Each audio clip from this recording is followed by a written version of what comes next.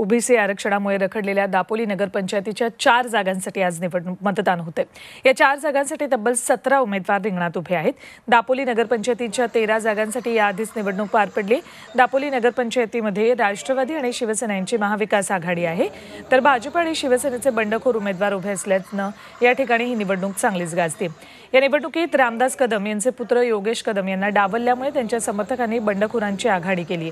मात्र या बंडखोरांच्या प्रचारासाठी स्वतः रामदास कदम किंवा योगेश कदम कुठेच न दिसल्यानं हे बंडखोर या निवडणुकीत काय चमत्कार घडवणार याकडे सगळ्यांचं लक्ष आहे. छत्रपतींचा विचार. म्हणजे?